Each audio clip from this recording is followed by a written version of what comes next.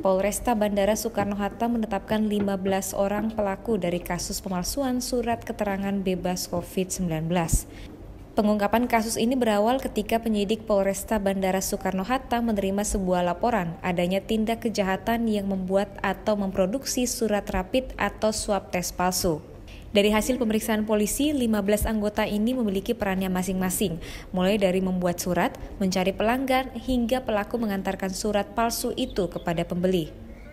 Komplotan ini sudah menjalani aksinya sejak bulan Oktober 2020 dan perkiraan sudah menerima pembelian hingga 200 penumpang yang sudah menggunakan surat palsu ini. Selain melakukan pemalsuan surat, para pelaku juga mengajarkan para calon penumpang untuk mengelabui para petugas untuk menghindari pemeriksaan screening.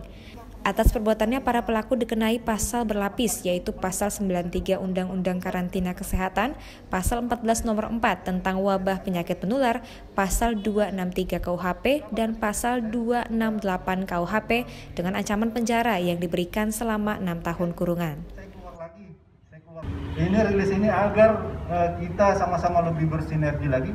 Jangan sampai hal ini tidak terpikirkan bahwa bahayanya luar biasa.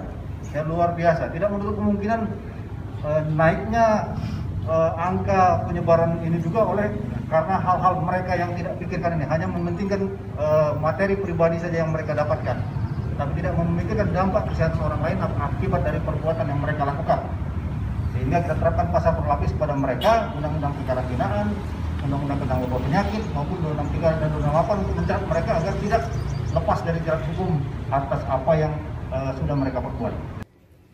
Dari Tangerang, Afdal dan Ipung melaporkan.